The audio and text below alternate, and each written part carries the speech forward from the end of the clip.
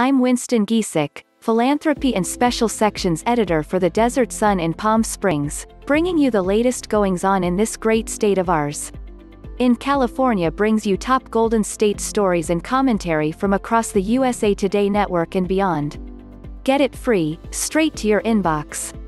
In a warning letter to state legislators Monday, officials from Bank of America, the bank contracted with the EDD to issue debit cards containing unemployment benefits, said that 640,000 suspicious accounts had been identified and should be investigated, including claims filed in the names of infants, children, centenarians and people living in states not contiguous to California.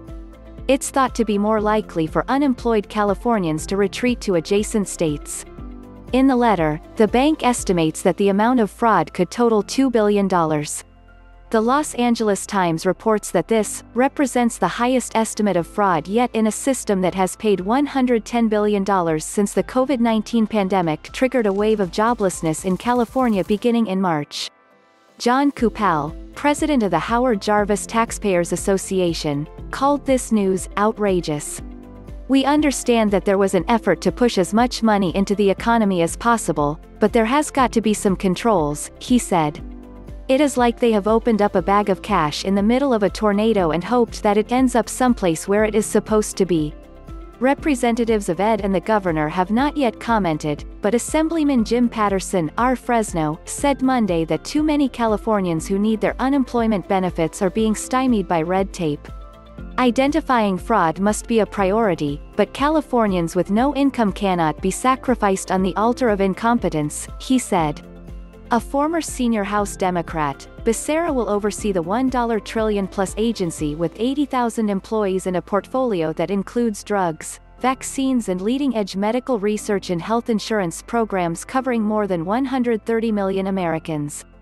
As California's Attorney General, Becerra has served as the leader of a coalition of Democratic states defending the Affordable Care Act from the Trump administration's attempts to overturn it. A legal case is awaiting a Supreme Court decision next year. Prior to serving as California's Attorney General, Becerra, whose mother was born in Mexico, had served for more than a decade in Congress, representing parts of Los Angeles County. He had also served in the California State Assembly after attending law school at Stanford.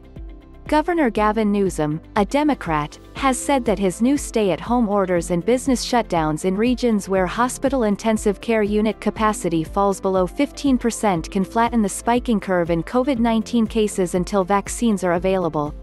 However, at least two county sheriffs say they won't enforce the restrictions.